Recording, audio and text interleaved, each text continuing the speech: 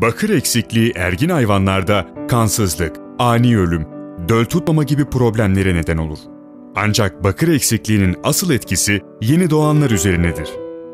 Yeni doğanlarda, özellikle kuzularda dengesiz, sallantılı yürüyüş, belden arkasını tutamama gibi tam veya kısmi felçler görülür ki bu felçler tedavi edilemez. Tek çare gebeliğin ilk aylarında uygun dozda bakır verilmesidir. Bakır eksikliğinden korunmak için özel forma sokulmuş bakır oksit, selenyum iğnelerinden oluşan ve 6 ay etkisi devam eden Copelex kapsül kullanın.